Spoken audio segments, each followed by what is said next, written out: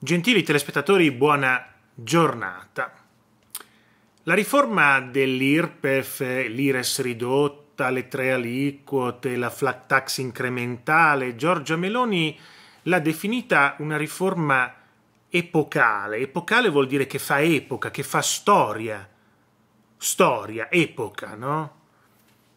Ma andiamo a vedere quanto risparmieranno famiglie e imprese con questa famosa riforma che farà storia, epoca, epocale.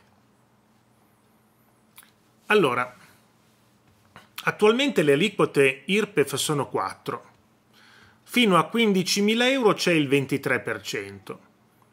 Il 25% per chi dichiara fino da 15.000 a 28.000. Da 28.000 a 50.000 è il 35%. 43% per chi supera i 50.000, per quello che c'è da 50.000 in su. Ci sono sul tavolo tre ipotesi di riforma. La prima prevede un'aliquota al 23% fino a 15.000 euro, che eh, ad esempio con un, un dipendente che dichiara 35.000 euro pagherà un IRPEF di 7.382 euro, 100 euro in meno rispetto a quella attuale. All'anno, eh, non al mese, all'anno. 100 euro in meno all'anno sono qualcosa come 8 euro di tasse in meno al mese. Quindi eh, 8 euro in più al mese. Un autonomo invece pagherà 8.709 euro. Per un contribuente che dichiara 60.000 euro all'anno, è un'ipotesi, sarà quindi chiamato a versare eh, 17.550 euro di IRPEF e 700 euro in meno rispetto alla situazione attuale. 700 euro in meno sono qualcosa come 50 euro in più al mese di, eh, di di stipendio, diciamo, tasse in meno che paga 50 euro in più. Ovviamente paga 60.000, riceve 60.000, quell'altro riceve 35.100 euro. Cosa succede se le tre aliquote dovessero essere invece 23 fino a 28.000 euro, 33% fino a 50.000 e 43 oltre 50.000 euro? Un dipendente che dichiara quei 35.000 euro pagherebbe 7.382 euro di IRPEF, un autonomo 8.409, entrambi risparmierebbero 400 euro rispetto alla tassazione attuale.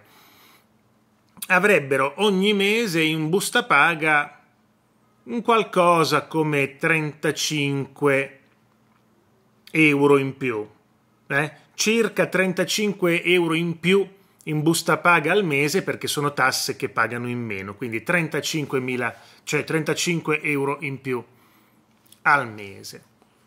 Mentre se si dovesse optare per la soluzione che prevede un'aliquota dal 23% per chi dichiara fino a 28.000 euro, 35% per i redditi fino a 50.000 e 43% per chi dichiara più di 50.000, a questo punto, in questa ipotesi, eh, tra i 15.000 e i 28.000 euro si avrebbe un guadagno di circa 100 euro.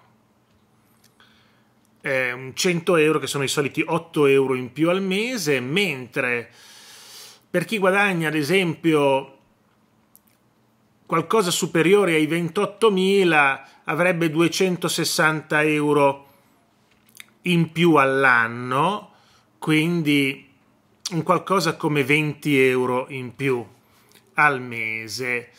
Um, mentre per uno stipendio, diciamo, di media eh, di 20.000 euro ci sarebbe un risparmio di circa eh, 100 euro. Ecco, come dicevamo prima, i soliti 8 euro al mese.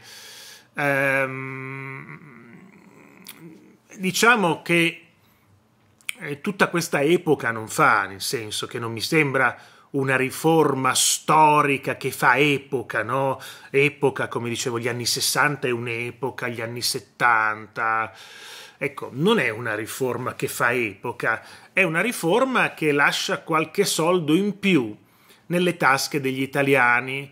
Eh, non ci sono soldi, pertanto non ci può essere una riforma fiscale che fa epoca. Uno Stato squattrinato, pieno di debiti, che non ha soldi, può fare delle riforme fiscali ehm, che ti lasciano qualche soldo in più in tasca. Ma quel qualche soldo che ti lasciano in più in tasca, sommato tra tutti gli italiani, fanno tra i 6 e i 10 miliardi che il governo dovrà trovare. Quindi eh, è poca roba, ma quel poca roba moltiplicato per 60 milioni di italiani, eh, o meno naturalmente quelli che lavorano, sono tra i 6 e i 10 miliardi che l'Italia non ha e deve da qualche parte andarli a prendere. Cosa capiterà invece per le imprese?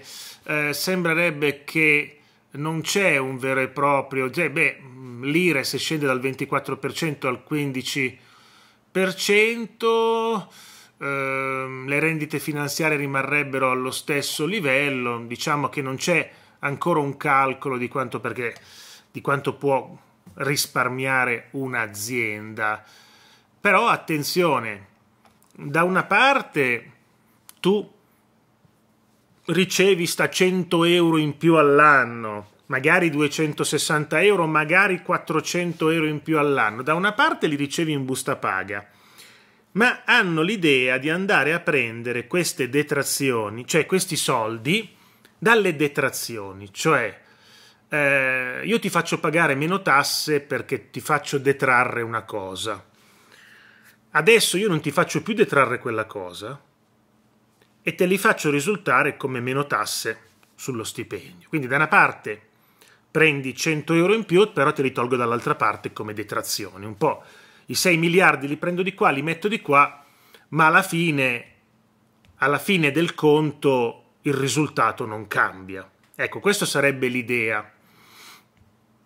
Tolgo la gran parte delle detrazioni, così tu paghi più tasse, però poi te, ti, ti dico che te le tolgo, alla fine ne paghi di più di qua, te le tolgo di là, il risultato è pari, ma a te sembra che ti ho dato 8 euro in più al mese, invece ti do 8 euro in più da una parte, ma te li tolgo con le detrazioni. Insomma, eh, viene fuori un giochino di questo tipo.